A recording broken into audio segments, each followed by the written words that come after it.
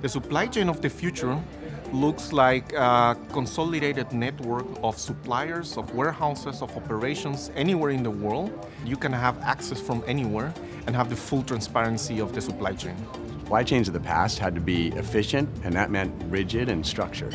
And that was great for the last 10 years, but for the next 10 years and perhaps beyond, agility is going to be the call of the day. Digital technologies like AI are helping organizations to make decisions faster, a lot faster, because AI will support the decision making in providing you proactively more information and more data. All these things coming together with, again, data, prediction, and judgment at the heart of it becomes this future organization that constantly is on, constantly wired, constantly adapting. We're seeing pieces of this all over the place, but I think it's only when we get this picture together that we start to see how we move from points of concept or proof of concept to truly at scale innovation.